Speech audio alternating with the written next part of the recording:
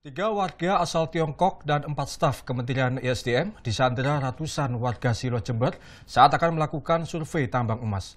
Warga menolak rencana penambangan karena dinilai akan merusak lingkungan sekitar.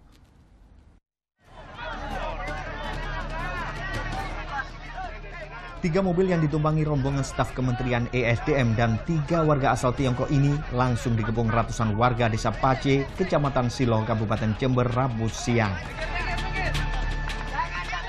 Rombongan Kementerian ESDM Provinsi Jawa Timur tersebut sedianya hendak lakukan survei lokasi tambang emas di Blok Silo.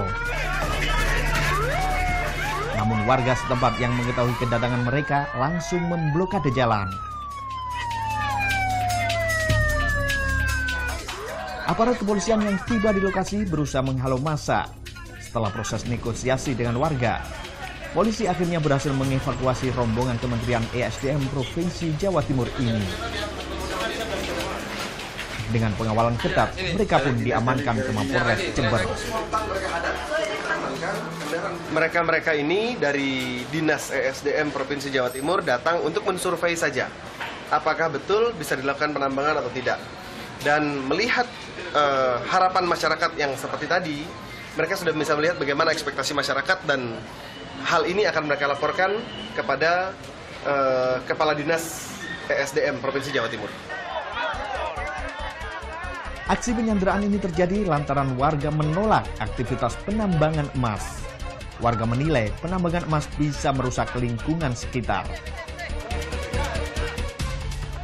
Sejak diterbitkannya SK Kementerian ESDM terkait izin penambangan pada 20 September 2018 lalu, warga langsung menolak.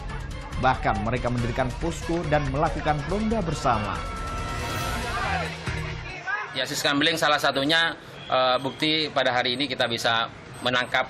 Kenapa Pak warga melakukan ronda dan akhirnya juga harus mengecek, memantau Kar dari luar? Karena masyarakat sudah tidak bisa dibodohi, masyarakat sudah sadar bahwa uh, pertambangan ini tidak akan memberikan manfaat tapi kemudaratan.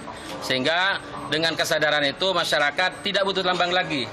Masyarakat sudah enak, sejahtera dengan bertani dan berkebun, Warga akan terus lakukan ronda di lokasi untuk memastikan tidak ada aktivitas penambangan.